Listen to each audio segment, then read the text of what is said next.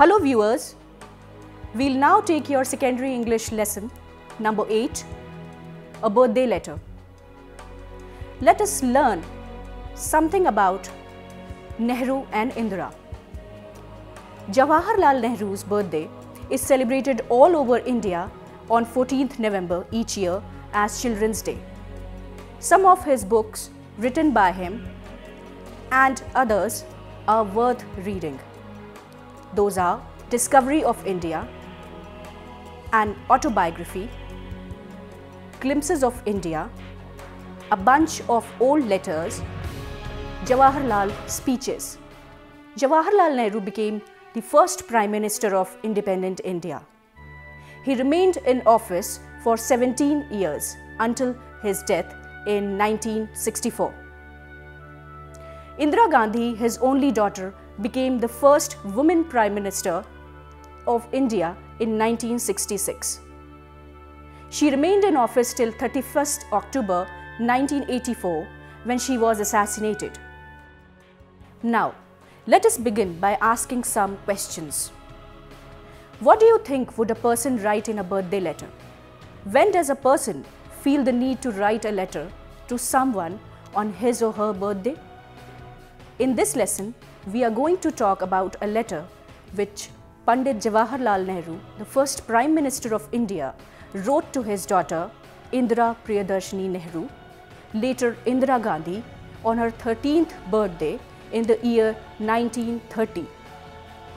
India was under British rule then. Since the freedom movement was at its peak, then a number of prominent leaders were arrested and put in different jails in the country. Nehru too was imprisoned and kept in Naini jail in Allahabad then. Young Indra was in Mussoorie then. Nehru was very fond of his daughter and it is from him that Indira learnt about the history of India and her political career took shape. In the first letter, Book of Nature, he talks about how life began in the universe.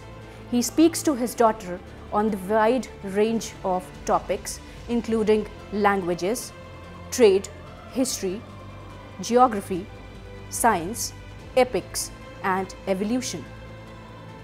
I'm sure you are familiar with the lesson A Birthday Letter.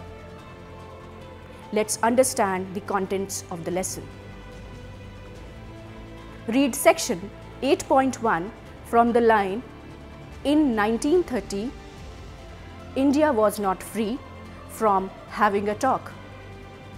In this section, Nehru talks about his constraints because he was not able to send any material gift to Indira Gandhi on her 13th birthday.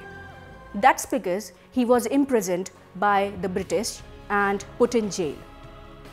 As explained earlier, political conditions in the country were very bad.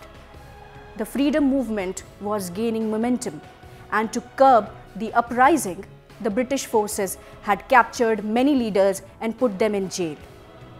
Nehru was too one of them.